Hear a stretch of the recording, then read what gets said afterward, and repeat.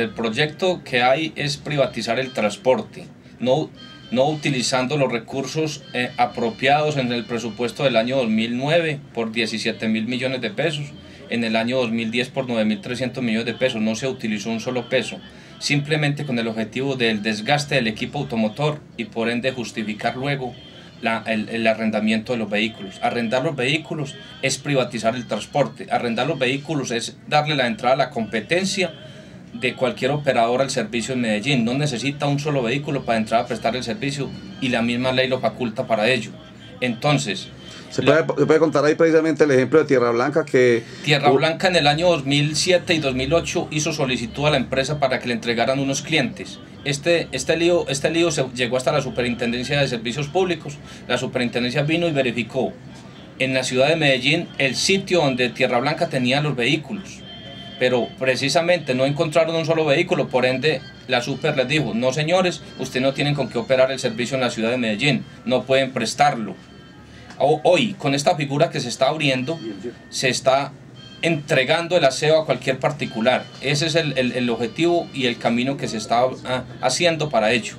Entregar el transporte a particulares que cualquier empresa, cualquier ente natural o jurídico pueda entrar a Medellín a prestar el servicio sin necesidad de un solo vehículo porque se está abriendo la figura por las mismas empresas varias de Medellín del arrendamiento de los vehículos. El aseo de Medellín es un negocio muy, muy importante, muy rentable y por ende muchas personas particulares se quieren quedar con él. ¿Es bueno o no desde el punto de vista financiero para la empresa el que se cambie de vehículos propios a vehículos eh, rentados? El pasado 12 de julio en el Consejo de Medellín el señor gerente expuso el estudio de financiero del renting donde demuestra que este contrato de 16 vehículos por 6 años da 240 millones de pesos. Quiere decir 40 millones de pesos anuales para una empresa que maneja presupuesto de 50, 150 mil millones de pesos. Eh, luego, a petición del gerente, solicitó a la jefe de contabilidad de la empresa y a un grupo de profesionales que analizaran nuevamente este proyecto.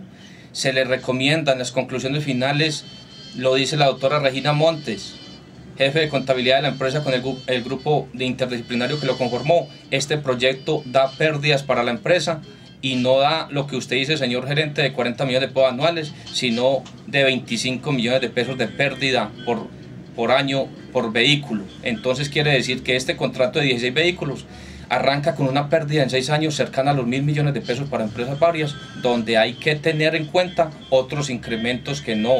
Porque es que este operador Roger, este operador entra a, suministrar los vehículos y no suministra combustible, no suministra llantas, el parqueo se lo tiene que dar a empresas varias, le tiene que poner la vigilancia a los vehículos, los stand-by, si a ellos se les vara un vehículo, las empresas varias tienen que salir con el parque automotor de, propiedad de, la empresa a reponer este vehículo que se les varó a esta firma eh, que, que a la cual se le arrendaría los vehículos. Entonces, ah, pero es que eso, suena, a un negocio con burro amarrado. Sí, es que eso no tiene sentido. O sea, no, empresas varias para los vehículos años 2007 y 2009 para reemplazarle al operador privado que va a entrar en el caso de que se le vaya un vehículo. Ellos no tienen stand-by.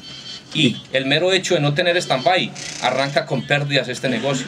No suministran combustible, como le acabé de decir. Hay que ponerles la vigilancia, entregarles los patios para el parqueo sí, ¿Y qué dice el Consejo de Medellín a todo esto? No, el Consejo de Medellín el pasado 12 de julio emitió un documento que se lo trasladó al señor alcalde, al gerente de la Junta Directiva, solicitando suspender este proceso inmediatamente, ya que este proceso le da a empresas varias las puertas a la competencia privada y en dos o tres años está privatizado el servicio de aseo totalmente en la ciudad de Medellín y por ende los extractos más bajos somos los que vamos a tener que pagar las, el incremento de las tarifas. Es cierto que 19 de 21 concejales dijeron no al proyecto. El documento emitido el 12 de julio en, el debate, en, este debate, 19 concejales de la ciudad de Medellín firman el documento y le, le solicitan al alcalde y al gerente de su junta directiva suspender ese proceso. 19 de los 21 concejales de la ciudad. No obstante, el proyecto sigue adelante.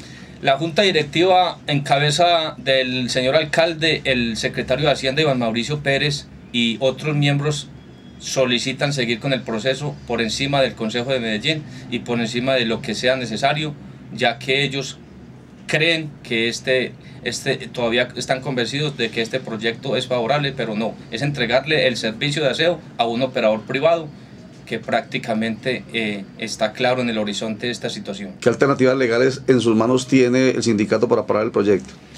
El sindicato, eh, a través de la Liga Antioqueña de Usuarios, ha emitido unos documentos eh, a unos 30 mil correos electrónicos, ha tenido unos comunicados y ya está buscando situaciones jurídicas en las cuales se le comunique nuevamente al señor alcalde y al señor gerente que este proyecto no es viable y que por ende es una recomendación que le hace no el sindicato, sino la ciudadanía de Medellín.